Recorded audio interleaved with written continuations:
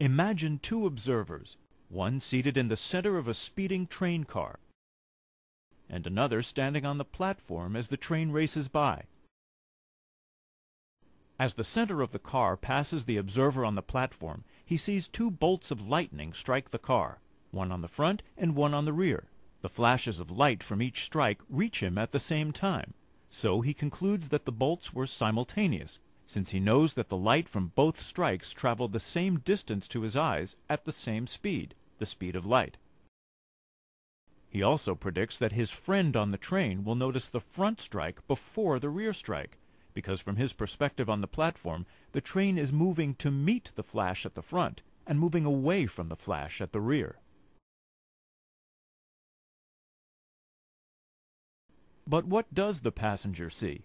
As her friend on the platform predicted, the passenger does notice the flash from the front before the flash from the rear. But her conclusion is very different. As Einstein showed, the speed of the flashes as measured in the reference frame of the train must also be the speed of light.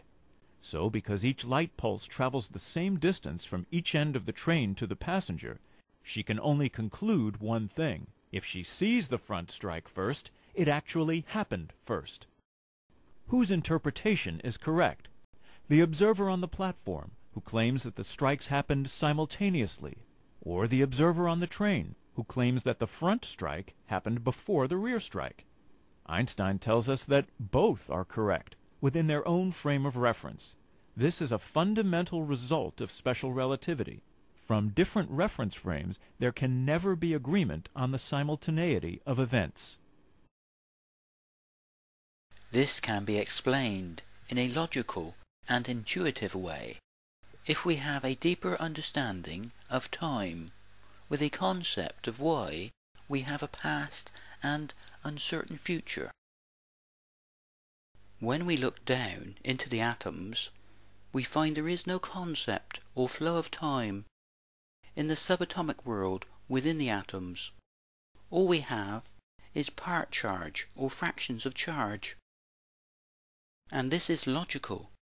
If what we see and feel as the passage of time is formed by a process of energy exchange that is relative to the electron probability cloud that surrounds the nucleus of the atom. We have the spontaneous absorption and emission of light in the form of photon energy, forming the ever-changing world of our everyday life, with the movement of positive and negative charge, with the flow of electromagnetic fields. This represents an emergent process, with the future unfolding with each photon-electron coupling or dipole moment. In our everyday life, we measure this process as a period of time relative to the atoms of the periodic table and the wavelength of the light. Each one of us has an emergent uncertain future that will be relative to our position and the energy and momentum of our actions. Within such a process, it is impossible to say that two distinct events happened at the same time if those events are separated in space. This is because the future is continuously unfolding relative to the energy and momentum of each observer's frame of reference. The reason why it is energy and momentum is because momentum is frame dependent, meaning it is always within a reference frame. In this example, the train represents a reference frame with momentum, forming a vector in the direction it is travelling. The passenger on the train is within this frame of reference and will see and feel the future unfold relative to its energy and momentum. If our eyes were more sensitive to the different wavelengths of the electromagnetic spectrum of light, we would be able to see that everything is radiating light. Even the observer watching the train passing by is radiating light, and light has momentum. Therefore, he has his own reference frame with his own unique view of the universe. Each individual observer is in the center of their own reference frame, in the moment of now, at the forefront of the creative process.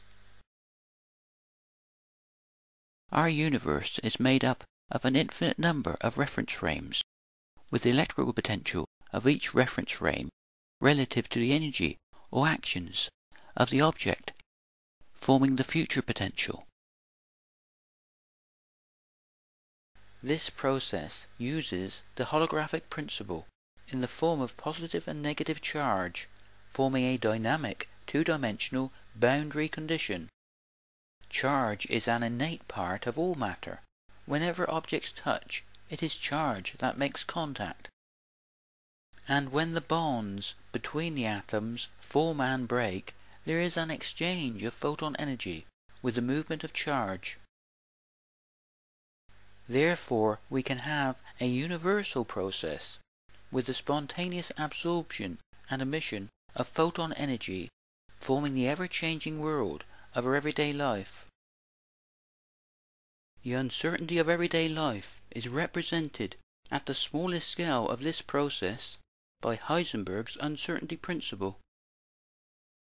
Within such a process, it is impossible to assign a unique time and position to any event, because everything is relative to everything else. Within a process of continuous energy exchange, or what I like to call continuous creation, with energy and mass being emergent properties that form the uncertainty of everyday life. As part of an emergent process, energy slows the rate the time flows, forming the time dilation of Einstein's relativity, with the curvature of space-time representing a geometrical reason for gravity as part of one universal process. This can all be based on just one equation. Energy equals mass times the speed of light squared is the most famous equation in physics. But could this equation give us an objective understanding of the universe? All we have to do is place the Lorentz contraction of space and time between the energy and mass. Therefore, the greater the energy, the greater the contraction of space, and the slower time will run. Mass will increase relative to this, and each reference frame can be seen as a vortex in space and time, formed by a process of continuous creation or continuous energy exchange. The C2 in the equation represents light radiating out in all directions at a constant speed, forming a sphere of electromagnetic radiation from its radius, forming a square of probability this is the same probability we have with any future event, because the process forms the flow of time itself, photon by photon.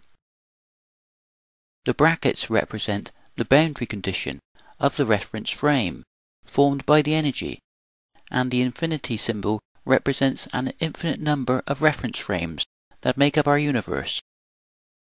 In this way, we link the time dilation of Einstein's theories on relativity with a deeper understanding of quantum mechanics to give us an objective understanding of our universe that fits in with the reality of our everyday life. I will place links here that explains this in greater detail. Thanks for watching. Please sub and share.